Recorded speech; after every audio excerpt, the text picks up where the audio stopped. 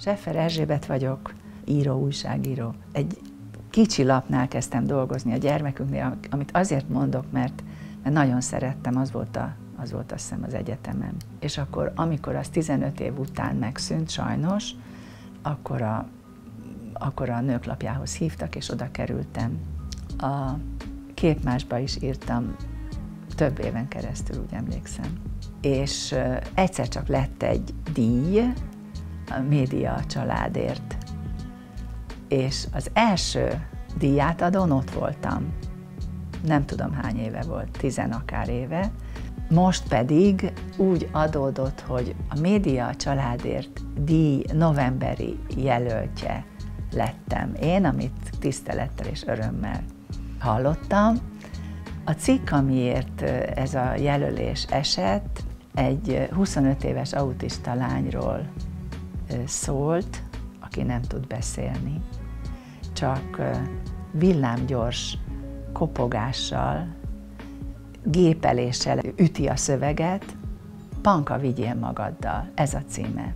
És elvitt magával ö, olyan ö, élethelyzetet ismertem meg, amit előtte sosem.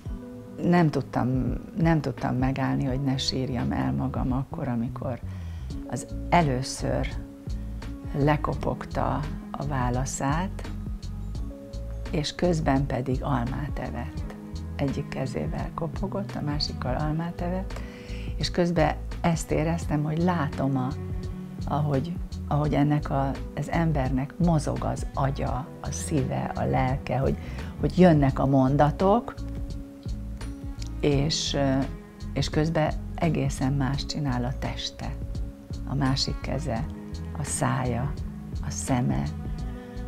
Amikor megismertem a bankát és az édesanyját, azt, azt éreztem, meg azt tudtam, hogy muszáj lenne valahogy jelen maradnia a, a labban akár, mert annyira szeret írni. Annyira, és olyan jók a gondolatai.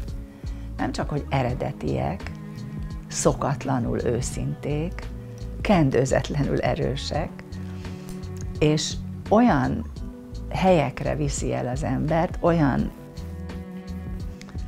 olyan világokba, ahova én, én nem fogok belekeveredni, és nem fogok tudni róla, és mások se fognak tudni róla.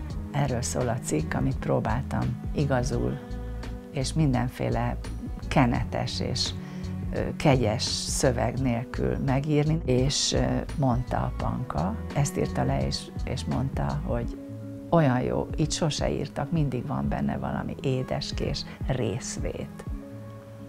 De nem részvét kell, hanem résztvevés kell, azt hiszem.